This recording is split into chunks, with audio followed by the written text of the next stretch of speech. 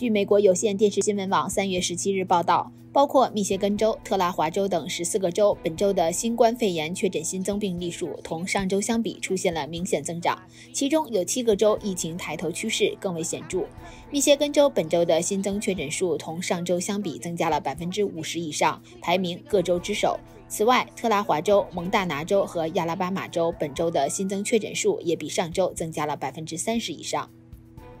美国国税局三月十七日表示，纳税申报人截止日期将从四月十五日延长至五月十七日，以减轻申报人应对新冠疫情引发的经济动荡的负担。国税局强调，额外的时间只用于联邦申报表，而不是州申报表，因此纳税人应向州税务部门核实任何期限变更，也不适用于四月十五日到期的预计税款，这一天仍然是期限。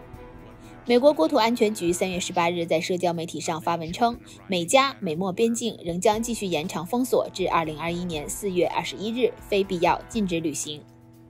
欧盟委员会十七日通过一项立法提案，计划在欧盟内推出新冠数字绿色证书，以逐步解除疫情防控，并恢复民众在欧盟各国的自由流动。该数字绿色证书将证明持证人完成新冠疫苗接种、新冠病毒检测结果呈阴性或曾感染新冠病毒并已痊愈。证书有数字和纸质两种形式，附带二维码，以保证其安全性和真实性。日本环球影城于三月十八日开放其耗资五点五亿美元建造的以超级马里奥为主题的乐园，这是游戏制造商任天堂有限公司超越虚拟世界的一次重大飞跃。大阪的这个新增项目将使日本环球影城的特许经营权名单更加庞大，包括 Minions 和侏罗纪公园。